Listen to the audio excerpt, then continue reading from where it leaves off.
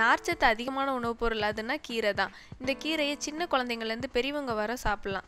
இந்த கீரையில் நிறைய வகை இருக்குது ஒவ்வொரு கீரையும் சாப்பிட்றதுனால நமக்கு ஒவ்வொரு வகையான நன்மைகள் இருக்குது.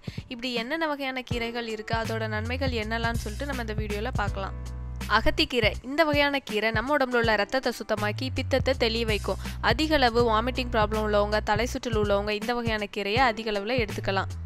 பசலைக்கீரை. இந்த வகையான கீரை நம்ம உடம்புல உள்ள தசைகளை பலமடைய செய்யும். உடல் ரொம்ப பலவீனமாக உள்ளவங்க இந்த வகையான கீரையை அதிக அளவில் எடுத்துக்கலாம். பொன்னாங்கண்ணி கீரை. இந்த வகையான கீரையை சாப்பிட்டா கண் பார்வை குறைபாடு நீங்கும். அதனால கண் பார்வை குறைபாடு உள்ளவங்க தினமும் உணவில் இதை சேர்த்துக்கிறது மூலம் கண் பார்வை குறைபாடு நீங்கும். மேலும் இந்த கீரையை சாப்பிட்றதுனால நம்மளோட உடல் அழகும் மினுமினுப்பும் அதிகரிக்கும். முருங்கைக்கீரை இந்த கீரையில் நம்ம உடம்புக்கு தேவையான எல்லா சத்துக்களுமே இருக்குது முக்கியமாக சர்க்கரை நோய் உள்ளவங்களுக்கு இந்த கீரை ரொம்பவே உதவிகரமாக இருக்குது இதில் உள்ள கசப்பு தன்மை நம்ம ரத்தத்தில் உள்ள சர்க்கரையோட அளவை குறைக்க யூஸ் ஆகுது. அதனால் சர்க்கரை நோய் உள்ளவங்க தினமும் நம்மளோட உணவில் இந்த முருங்கைக்கீரையை சேர்த்துக்கணும்.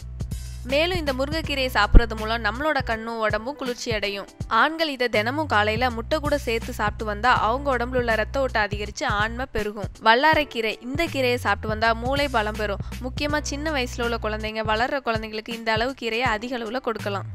முடக்கத்தான் கீரை. கை காலில் முடக்கம் உள்ளவங்க மலச்சுக்கள் உள்ளவங்க இந்த அளவு கீரையை அதிகமாக எடுத்துக்கலாம். பருப்பு கீரை உடல் சூட்டை குறைக்கிறதுக்கு இந்த பருப்பு கீரை ரொம்பவே உதவிகரமாக இருக்குது அதே மாதிரி பித்தம் பிரச்சனை உள்ளவங்க அடிக்கடி தலை சுற்று வாந்தி உள்ளவங்க பருப்பு கீரையை அடிக்கடி உணவில் சேர்த்துக்கலாம். மணத்தக்காளி கீரை இந்த வகையான கீரை வாய் மற்றும் வயிற்று புண்ணை குணப்படுத்த உதவுது. மேலும் நம்ம உடம்புல உள்ள தேமலையும் சரி செய்யுது. வெந்தயக்கீரை இந்த வகையான கீரை மலச்சிக்கலை நீக்க உதவுது. மேலும் நம்ம கல்லீரல் மண்ணீரல்ல எந்த பிரச்சனை இருந்தாலும் இந்த வகையான கீரையை எடுத்துக்கலாம். நீரிழிவு நோயாளிகளுக்கு இந்த கீரை ரொம்பவே நல்லது. மேலும் வாத நோய் காச நோய்களையும் தடுக்க உதவுது.